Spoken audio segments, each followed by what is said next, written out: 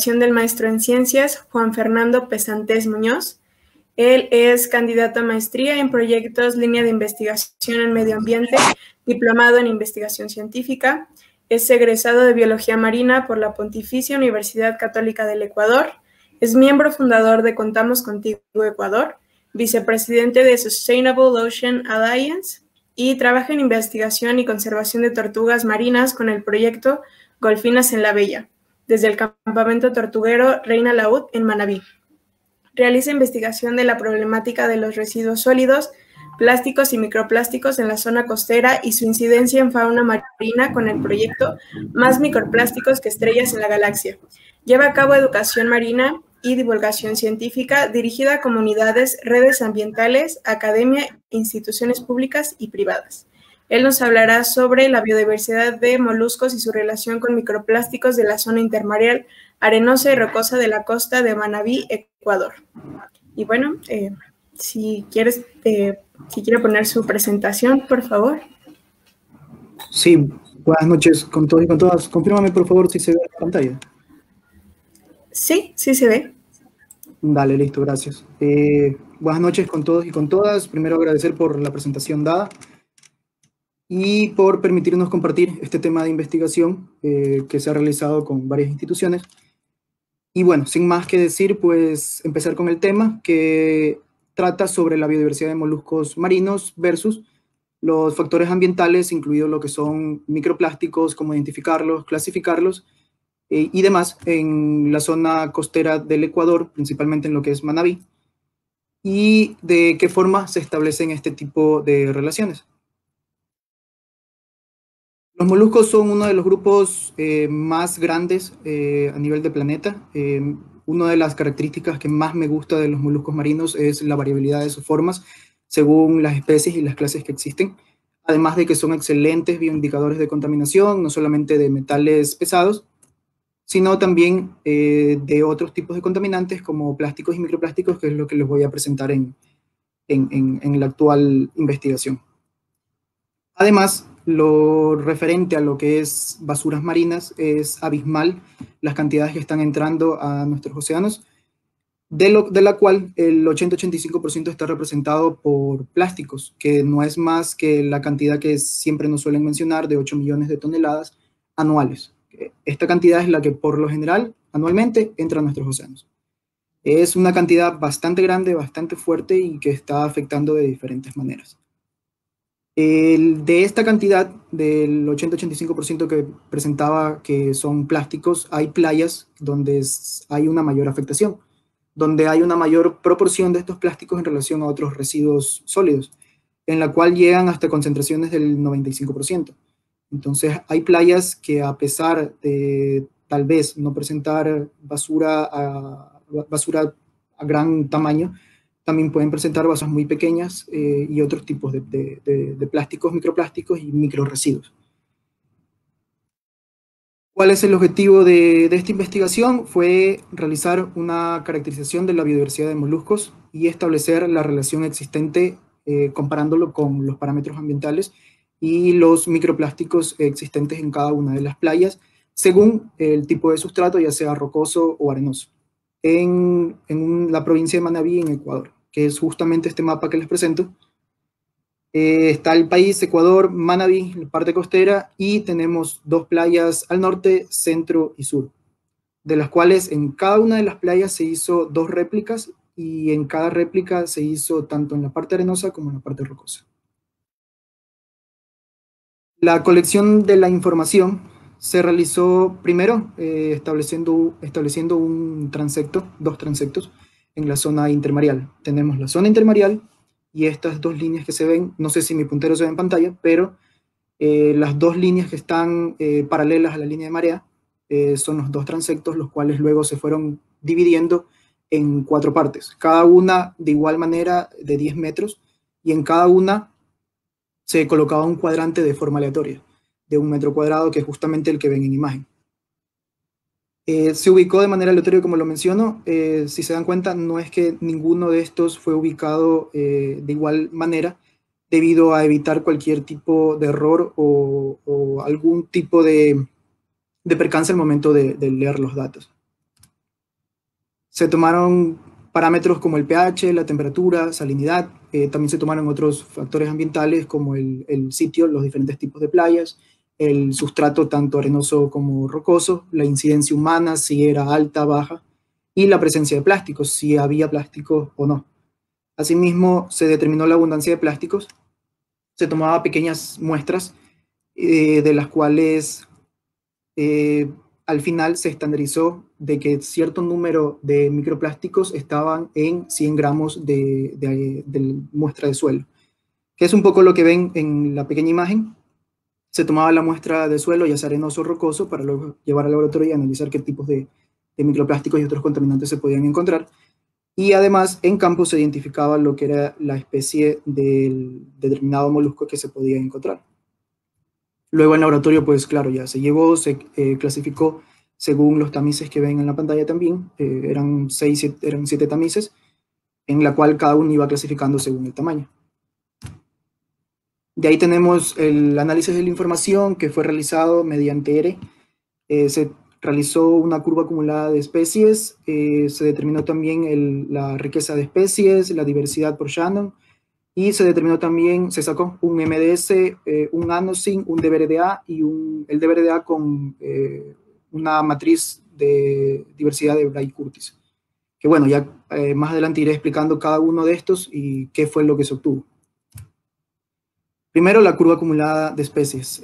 se pueden fijar, en la parte roja, la curva roja, es las, la riqueza de especies en, la parte rocosa y la parte azul son, es la riqueza de especies que se encontró en la parte arenosa. Y la gris es el conjunto, es el, el, de ambos.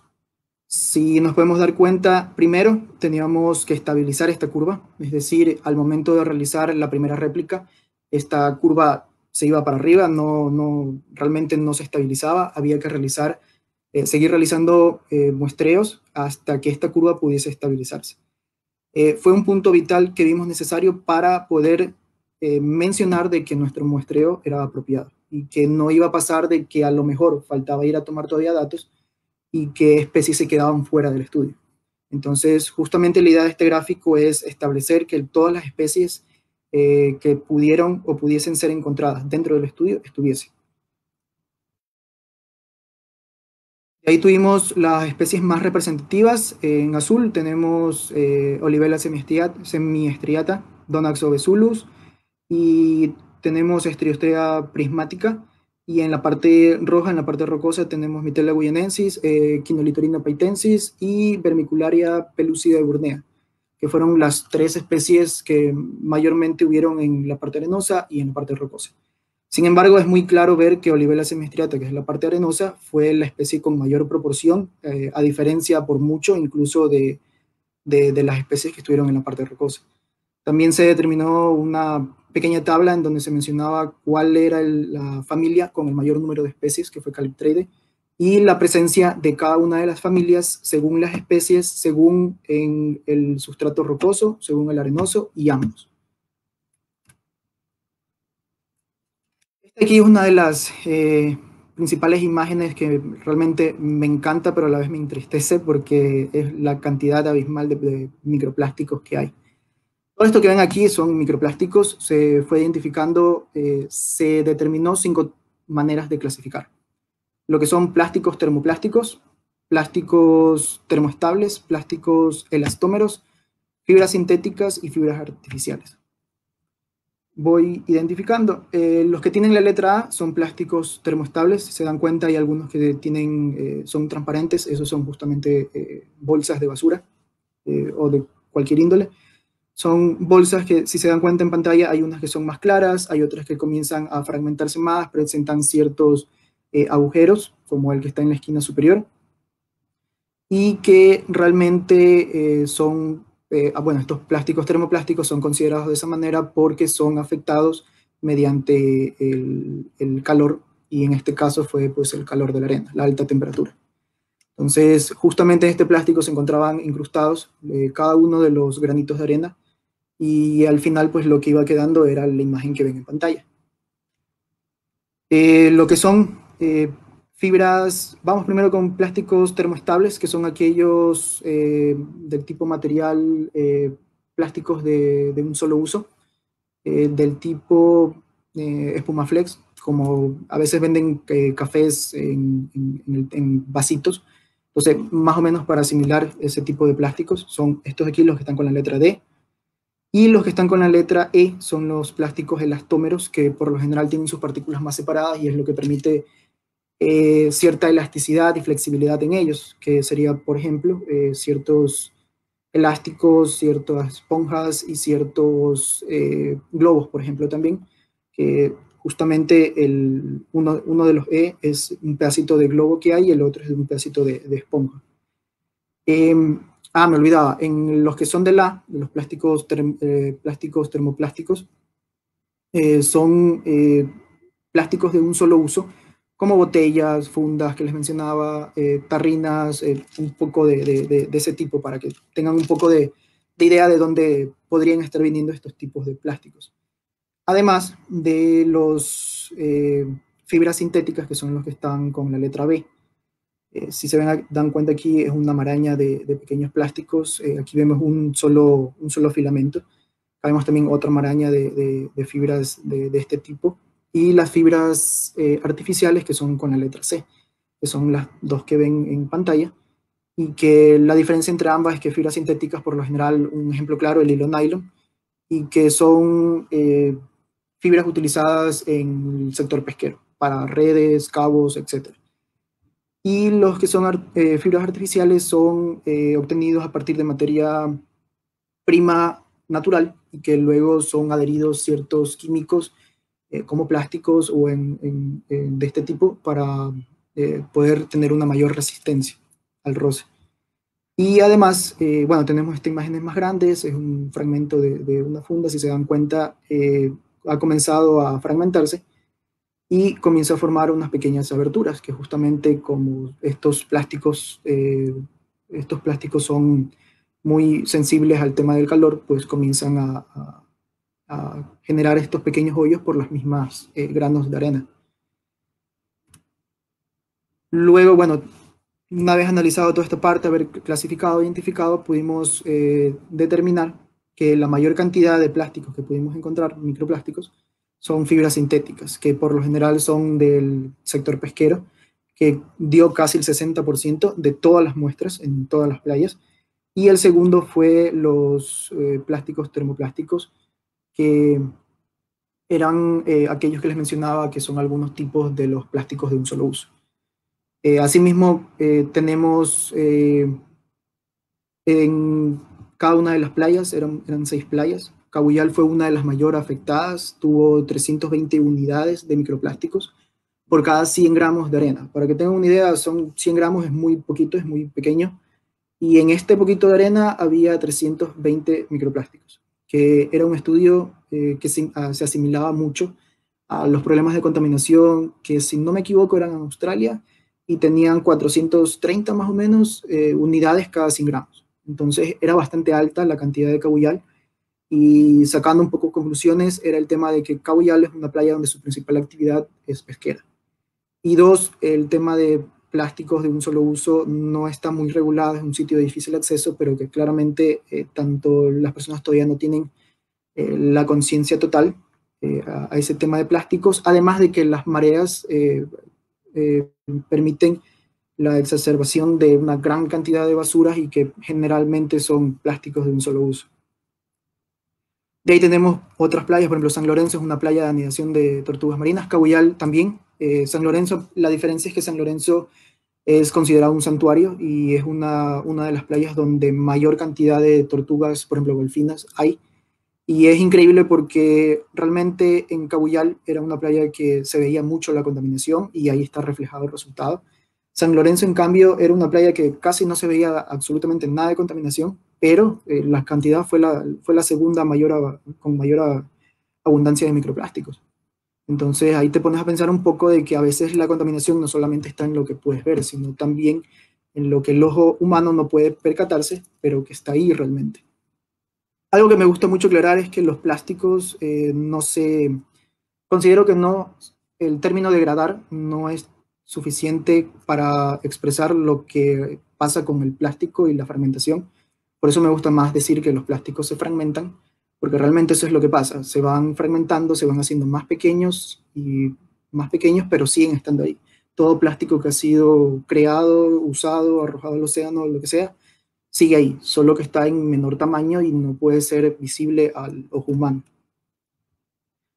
Aquí tenemos un poco de, lo, de cómo se clasificaba y se identificaba. Esto también es eh, una charla aparte que realizamos por medio de mi fundación, de cómo clasificar e identificar microplásticos. En la imagen que tienen aquí hay algunos que son microplásticos, hay otros que son mesoplásticos, también trabajamos con macroplásticos, o sea, se clasifican los plásticos según tamaño, color, eh, forma, eh, dimensiones también.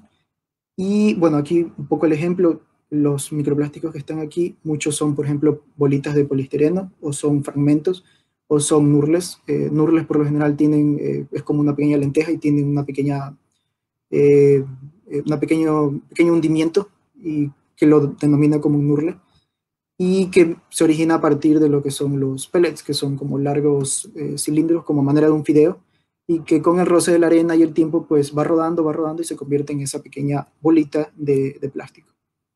Eh, hay otros que aquí no son plásticos, que también se los coloca para poder eh, enseñar realmente eh, cuál es plástico, cuál no es plástico. También los fragmentos diferenciarlos de las pequeñas conchas o las fibras también diferenciarlos de fibras naturales, que por lo general se encuentran en malezas también. De ahí lo que les mencionaba un poco, los plásticos, es más exacto decir que se fragmentan, si ven aquí en la imagen, eh, hay un pequeño plástico que ya tiene una pequeña partidura y lo que está pasando es que se está fragmentando. No se está haciendo más pequeño ni nada por el estilo, sino que va a comenzar a fragmentarse y va a comenzar a dispersarse, que es lo que se ve en la imagen. Eh, ahí ven el que parece un pequeño dorito, es, es un plástico elastómero que era un globo. Era muy, muy pequeñito, los plásticos que están aquí son menores a un milímetro. Entonces también teníamos que identificar y clasificar según plásticos los que eran visibles y los que había que utilizar ya estereoscopio, microscopio o, equipo más especializado para poder determinar como un FTIR. Entonces, según eso y el tamaño y todo, todo tipo de características, pues se identificaba según los cinco tipos que nosotros decidimos eh, clasificar cada uno de estos microplásticos. De ahí eh, se realizó un MDS eh, tratando de establecer la relación entre la estructura comunitaria y cada uno de los factores ambientales, es decir, eh, la estructura comunitaria con el sitio, con, los diferentes sitios, las seis playas, de ahí con el sustrato si era arenoso o rocoso, de ahí la incidencia humana si era la playa era de alta incidencia o baja incidencia, y la presencia de plástico si había o no. Entonces, los gráficos son sumamente claros, la diferencia en en la comunidad, en la estructura comunitaria que existe según cada uno de estos parámetros es muy marcada, principalmente en lo que es el tipo de sustrato y la incidencia humana. De ahí se realizó un DBRDA, que, bueno, aquí tenemos el gráfico y luego se hizo un zoom.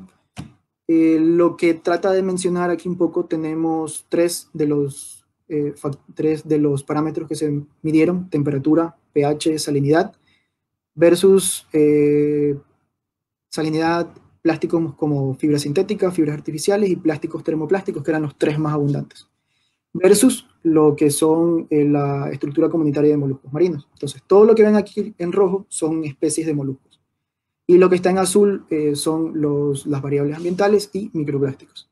Entonces, por ejemplo, tenemos en, salinidad, la flechita va hacia arriba, eh, va directamente relacionada a las especies que van hacia arriba con la flechita. Las que están en contra, como por ejemplo Olivella semistriata, que está muy alejada, es relativamente, tiene una eh, diferencia significativa en relación a la salinidad. Es decir, en menor salinidad va a haber una mayor cantidad de Olivella semistriata. Y así va a variar un poco. La, relación es, indirecta en relación a la especie. Y asimismo, eh, con lo que es el pH, hay otro tipo de, especies. Por ejemplo, en pH Mitella guyanensis, por ejemplo, en fibra sintética, Mitella guyanensis y Ponix panamensis eh, es directamente, es una relación directa, directa. Pero si toman, por ejemplo, el pH, tiene una relación inversa con NHGSP. Entonces, eh, ahí se puede ver un poco qué tipo de relaciones directas o inversas tienen cada una de las especies según las variables ambientales y según los tipos de microplásticos que nosotros pudimos clasificar. De ahí, eh, una de las principales eh, particularidades que nos encontramos fue el tema de la curva acumulada de especies, que la mayoría de estudios la biodiversidad de moluscos era muy baja. Entonces, ¿qué pasaba de que no se presentaba un, gráfico en donde se demostrara de que el, esfuerzo, que el esfuerzo del muestreo fue el correcto? Entonces, justamente esa fue una de las motivaciones de realizar este gráfico para determinar si realmente eh, estábamos haciendo bien el estudio. Si no, podría causar un problema y a lo mejor no estaríamos tomando el número de especies necesarias para que sea un, estudio eh, a detalle. Eh, además, no hay mucha información referente al tema de moluscos marinos en relación al tema de variables ambientales. Y de ahí, bueno, pudimos partir, a partir del gráfico anterior, perdón, tres especies las más representativas. Por ejemplo, Olivella semiestriata tiene una mayor eh, influencia con la salinidad y el tipo de sustrato rocoso. Y eh, asimismo, eh, hay otras especies como por ejemplo Donax obesulus o Mitela guyanensis, que tienen, por ejemplo, guyanensis tiene una asociación positiva en cuanto al tema de las fibras sintéticas y negativa con los termoplásticos. Entonces sería interesante que a partir de este estudio base se pudiese realizar estudios muy específicos en cada una de las especies y establecer estas relaciones, si fueron directas o inversas, ver si realmente esta relación eh, directa fue positiva o negativa y si esta inversa fue positiva o negativa. Entonces, es, sería como una base, una fase 2 para cada una de las especies que, bueno, en pantalla coloqué las más representativas y las que tenían resultados más interesantes. En cuanto al tema de microplásticos, se encontró en todos los lugares, en todos los cuadrantes, en todo, en absolutamente todos. Entonces, para que más o menos tengan un poco la idea de la cantidad de plásticos que hay, eh, principalmente microplásticos, y que siempre van a estar ahí, algunos van a demorar hasta más de 500 años, dependiendo de los materiales, van a ser 10, 20, 30, 100, 500 años. Y de ahí, bueno, el, principal, principal microplástico que se pudo detectar fue la fibra sintética, que es justamente eh, proveniente de la actividad pesquera y donde eh, está, es un importante contribuidor a, esta problemática. No solamente en el país, sino a nivel internacional, la mayoría de documentos eh, se presentan, que presentan eh, es el problema del, del, del sector pesquero por el abandono de redes, cabos, el uso, el desgaste de las mismas, la fragmentación de estos materiales y demás. Cuanto a conclusiones, este es un primer eh, estudio base para determinar la cantidad y tipos de microplásticos en la zona intermareal de Manabí. Eh, asimismo, hay, existe una gran diversidad de, de, moluscos en la parte rocosa en relación a la parte arenosa. Algo bastante curioso es que especies en total fueron 78, 77 estuvieron tanto en arenoso como rocoso, solo Olivella semiestriata estuvo en, solo en arenoso. Y eh, es interesante porque justamente esta especie es la que mayor eh, proporción presentó. Además de que presenta resultados también interesantes con el tema de microplásticos y variables ambientales. Y también es interesante porque eh, toda la estructura comunitaria se ve mucho más afectada por el, tiene una mayor relación o afectación, ya sea positiva o negativa, con el tema de los, el tema de temperatura, salinidad y pH, más que aún habiendo presencia de microplásticos.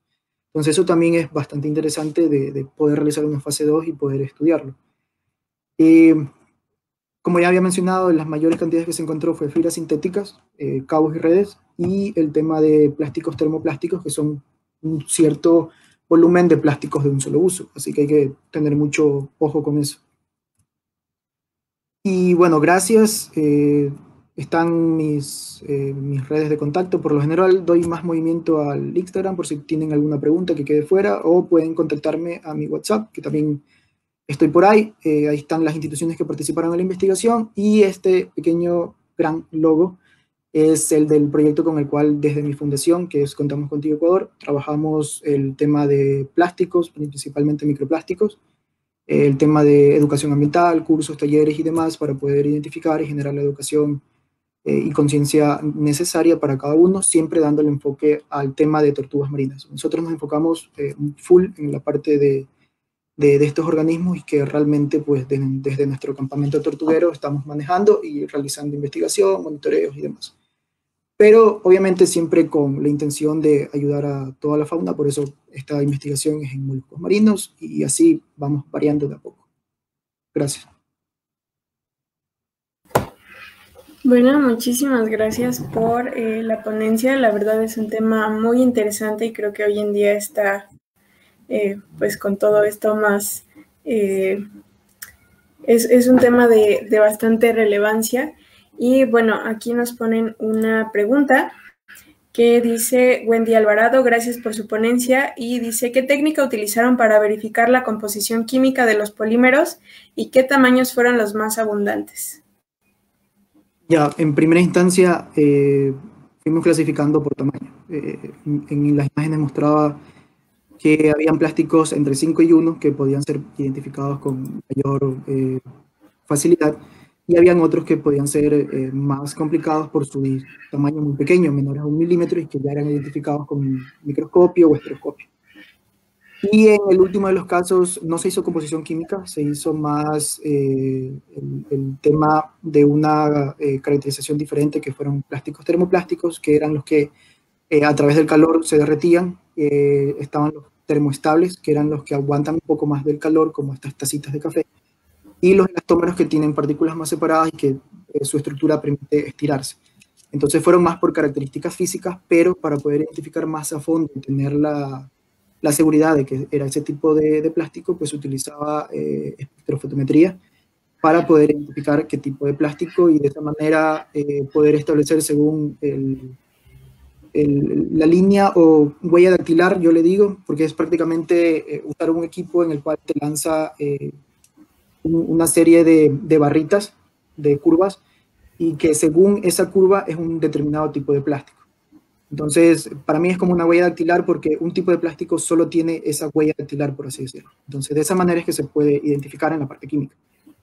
Eso como adicional. ¿Y qué tamaño fueron los más abundantes? Eh, no fue algo que se incluyó en el estudio, pero entre los más abundantes fueron el de menos de un milímetro y el de 0.3 milímetros, si no me equivoco que fueron como que entre más pequeños, más abundantes. Pero hubo un tamaño en el cual ya, eh, eh, o sea, el, tamaño más pequeñito, ese no, realmente no se encontraron eh, muchos tipos de plásticos. Seguramente por el tema de que el equipo debía ser más especializado y tendría que ser con una mayor técnica de, de visualización pero en tamaños medios y, por ejemplo, grandes de más de, 5 milímetros, perdón, de 5 milímetros a 1 no fueron tantos, fueron pocos, pero menores a un milímetro sí fueron los que más se encontró. Ok, muchas gracias. Eh, también eh, nos pone Carvajal. Mencionaste un campamento de tortugas. ¿Sobre qué trata ese proyecto? Eh, ya, a ver, nosotros como fundación, como ya lo mencioné, trabajamos con tortugas marinas. Eh, a la par de ahí damos diferentes tipos de, de, actividades como limpiezas de playas, que son las tortumingas. Se realizan otras actividades como colectar madera y de ahí, eh, a partir de ahí realizar nuevos materiales o nuevas, nuevas artesanías para venta o, o, para algún otro tipo. Y de ahí, pues, todas esas actividades, también se realiza investigación, monitoreo diurno nocturnos de tortugas marinas, y todas esas actividades se realizan en el campamento tortuguero, que es denominado Reina Laúd. Nosotros como fundación en el país tuvimos el primer, el primer reporte y eclosión de neonatos de tortuga laúd, de las tortugas más grandes que miden aproximadamente dos metros. Tuvimos eh, anidación de eso en la playa del Bálsamo, en San Clemente también, y tuvimos la oportunidad de, de presenciar y de cuidar las nidadas por el fuerte oleaje y de tener la oportunidad de presenciar eh, la eclosión de estos pequeños organismos. Y bueno, eso es un poco de las actividades que se realizan, también el tema de voluntariado. Eh, por ahora estamos trabajando primero con la comunidad, para, pues son parte fundamental de, de, la fundación. Y de ahí pues queremos activar también el tema de voluntariado nacional eh, en general y extranjero. Pero apenas se pueda continuar por el tema de la pandemia. Ok, muchas gracias. Eh, también a Mayrani Tames eh, pregunta, ¿acaso hubo algún caso de un plástico que le sorprendió de verdad más que otros? Sí, realmente fibra sintética era, era bastante fuerte, bastante abismal y las cantidades eran muy, muy pequeñitas. Eh, de ahí habían algunas, por ejemplo, que me mencionaban, en pantalla mostré una, eh, un pequeño plástico que era una, una, pequeña fundita, bolsita, que tenía forma, algunos me decían de patito, otros me decían que tenía forma de cabello de mar y que llamaba la atención por una u otra manera. Y, por ejemplo, habían plásticos de diferentes colores, hay diferentes tipos de plásticos, hay diferentes terminologías en las que se puede clasificar, por ejemplo, les mencionaba los de snurles, los de pellets, está lo del plastic crust, está lo del plástico aglomerado, están diferentes terminologías sobre el tema de, plásticos que realmente no se conocen y que justamente eso como fundación realizamos cursos y charlas y talleres eh, referente a ello, para que se conozca un poco más referente al, al tema de microplásticos. Y que hay ciertas eh, particularidades que, por ejemplo, en un pequeño microplástico puede haber un, eh, pequeños microorganismos y puede haber realmente un total un ecosistema que por ahí, si buscan el término de plastisfera, es algo bastante interesante el tema y es algo muy, muy llamativo, la verdad. De ahí, el que más me llamó la atención es el que uno que salía en pantalla, de que era una bolsita y tenía puros eh, hoyitos, eh, justamente por el tema del calor de, de la arena. Y ese fue uno de los que más me llamó la atención y con el cual definí el concepto de que los plásticos lo del tema de degradar no es muy exacto eh, y prefiero denominarlo como fragmentar y dispersar.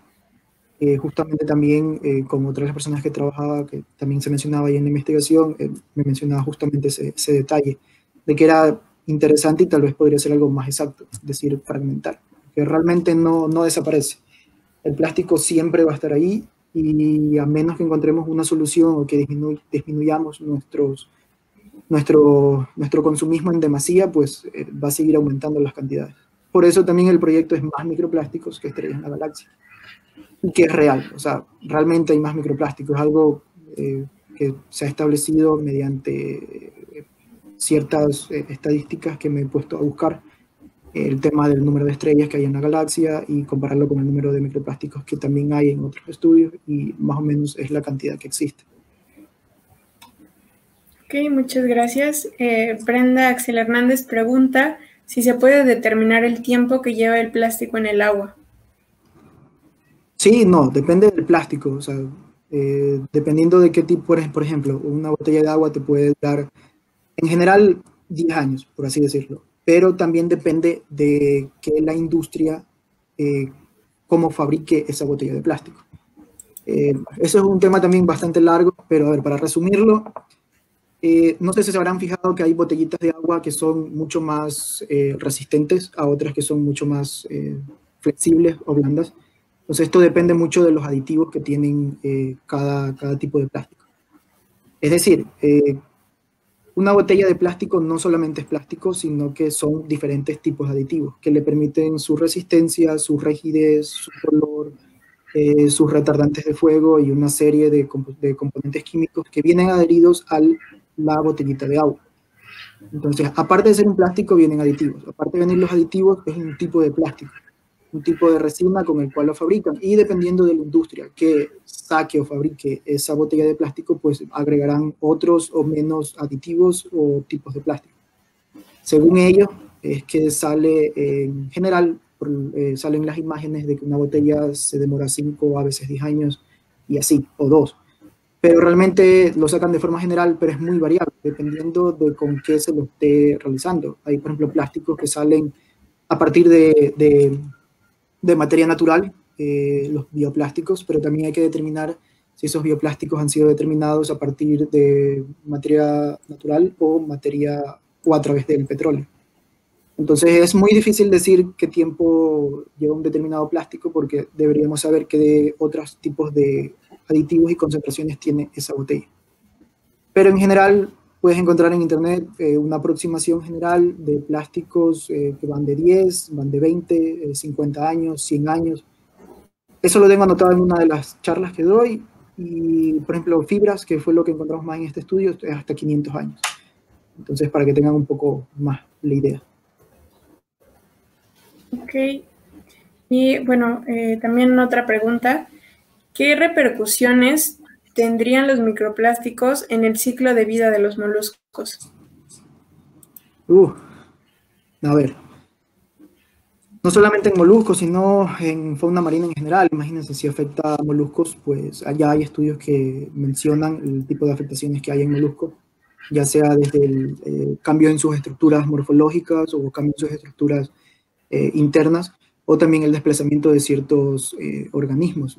Ya lo mencionaba, son organismos bioindicadores, son filtradores, y por ende tienen una mayor relación o afectación en relación a los microplásticos. Entonces, solo en moluscos se podría generar una serie de, eventos y en, caso de afectar a una especie, podría afectar a la cadena trófica y de esa manera puede afectar a otras, a otras especies. Eh, por ejemplo, en, eh, un ejemplo claro, eh, lo compara con tortugas, que es como que lo que más, más veo y lo que más tengo como experiencia, y es que viene la tortuga, se come una fundita, eh, esta fundita ingresa por, por, por, por, la boca, va por los intestinos y ya les comenté todo el tema de los aditivos y químicos. No es el plástico el que le afecta a la tortuga, sino todos los químicos que tiene y que le va afectando. Es decir, eh, plásticos más grandes le va a provocar eh, obstrucción y los plásticos más pequeños los van a ser como pequeñas bombas de tiempo. ¿Qué pasa con estos microplásticos? De que van a ingresar, eh, van a pasar mucho tiempo en el océano y se van a agregar eh, no solamente los químicos que ya tiene, sino otros químicos de la acuicultura, de la pesca, de las industrias, de ramas de petróleo, y todo eso se va a adherir al pequeño microplástico. Entonces son como pequeñas bombas de tiempo que van a ingresar a un determinado organismo, moluscos, tortugas, y al momento de ingresar, todos estos químicos van a migrar a la carne o al músculo del, del, del pez o del molusco de la tortuga y va a ir afectando a cada uno de los órganos a niveles eh, ya incluso hormonales y, mucho más específicos. Entonces, eh, no solamente es que es plástico y que se atora y ya, sino que también tiene una gran cantidad de químicos, los químicos que se agregan, más la bomba de tiempo, más que migra los, a los órganos, incluso la sangre. En humanos incluso eh, hay cierta cantidad de plástico en nuestra sangre. Hay un estudio bastante chévere de eso, pueden leer. Y, o sea, plástico está en todos lados. Eh, actualmente no hay un lugar eh, prístino o virgen eh, donde no haya. O sea, el plástico es bastante liviano, puede viajar por lluvia, puede viajar por viento. Es realmente algo bastante fuerte y que la gente no lo sabe. Entonces, eso. Ok. Y bueno, otra pregunta. por ejemplo, ¿se han encontrado microplásticos dentro de huevos de tortuga? En, a ver, en estudios hay el tema de que se han encontrado químicos posibles provenientes de plásticos, pero no plásticos dentro de los huevos, sino los químicos que les menciono que eh, son los que migran, eh, ya sea al, al, huevo por el tema de la arena o ya sea directamente al músculo del, del, pez o demás. Eh, asimismo es el tema del de, el ser humano cuando se alimenta de ciertos peces que tienen una mayor incidencia de consumo de plásticos y que tienen esos químicos. Entonces, al ingerir nosotros un pez, pescado, eh, vamos a, generar esa, toda esa contaminación que tiene, la vamos, a la vamos a tener nosotros, más la contaminación que nosotros ya teníamos anteriormente. Eso ya son términos de, bioacumula, de bioacumulación y biomagnificación. Que también son otros conceptos bastante interesantes y que también eh, se, pueden, se pueden ir viendo para que sepan un poco más del tema de, cómo va pasando a través de la cadena trófica cada uno de los contaminantes y plásticos. Ok, y como última pregunta, eh, por ejemplo, hablando de los bioplásticos, ¿podrían ser una alternativa viable para dejar de utilizar eh, los plásticos derivados del petróleo? Ya, a ver. son temas realmente muy complicados porque hay que como que eh, ir especificando. sí y no. los bioplásticos sí es una buena alternativa, hay que saber realmente qué tipo de bioplásticos, como ya dije, hay bioplásticos originados a partir del petróleo y bioplásticos originados a partir de materia natural como caña de azúcar, pepa aguacate, etc. Entonces hay que tener mucho cuidado cuando te venden una funda de bioplásticos, tienes que saber si es un bioplástico compostable. Si te dice bioplástico compostable, genial. Si no lo dice, queda la duda y puede ser que sea realmente de origen eh, de petróleo y que luego pues utilizó caña de azúcar y demás, pero al final pues sigue siendo eh, consumo del petróleo. Eh, Ahora, eh, no lo considero una alternativa. Creo que el problema no es tanto el plástico. El plástico es un invento realmente genial y bastante beneficioso. Eh, sin él no tendríamos microscopios, televisores y demás cosas, pero al mencionar todo esto, pues el problema real somos nosotros y el problema es el consumismo en demasía. Nosotros compramos, compramos, compramos y ni siquiera sabemos para qué utilizamos las cosas. A veces tenemos un vaso, no sé, un vaso de cristal o un vaso de plástico. Lo tenemos ahí, sirve, puedes darle uso, no es necesario botarlo y comprarte un vaso de vidrio. Si ya lo tienes, úsalo y, y dale el uso que necesitas. Eh, asimismo, o sea, lo que puedes tal vez hacer es, si tienes pensado comprarte un vaso, comprar uno de metal, uno de vidrio, que es algo más interesante eh, en relación a, un plástico. Pero de ahí, o sea, si en tu casa tienes vasos de plástico, o sea, úsalos, o sea, no tienes por qué realmente botarlos. Y eh, si te pones a pensar cualquier problema del cual nos pongamos a hablar, cualquiera, absolutamente cualquiera, al final del día vas a llegar que el problema es el ser humano Así, así es de simple esto. O sea, el ser humano realmente es una especie que no es, no es para nada necesaria y que eh, más lo que hace es contaminar, eh, por, por, fuerte que suene, pero es así. O sea, eh, nuestro ego va mucho más allá de, ser algo en armonía con el medio ambiente. Entonces también tenemos que pensar mucho en, esa fase. O sea, no es tanto qué alternativas podemos encontrar, lo cual es bueno, es una buena alternativa eh, pero si ya tienen por ahí algún tipo de plástico, pues úsenlo en el, el destino final que le corresponde. Porque también eh, ahí viene otro tema complicado que es el del reciclaje y que muchas veces no es eh, totalmente exacto. Hay recicladoras que se denominan recicladoras, pero que solamente te aceptan empacas esas fundas de plástico que pacan la, las colas o las bebidas.